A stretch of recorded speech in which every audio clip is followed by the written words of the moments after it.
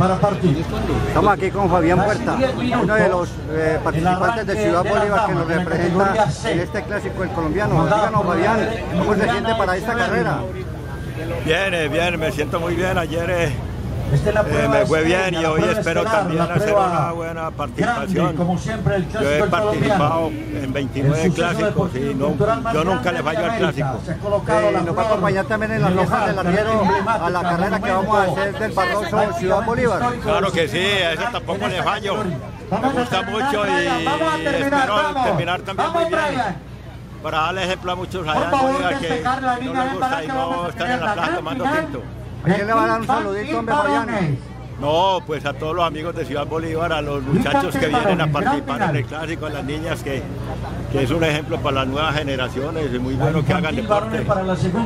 Y a los eh, muchachos que llegaron de, de Europa, a Juliana, a Carlos y a Jaime.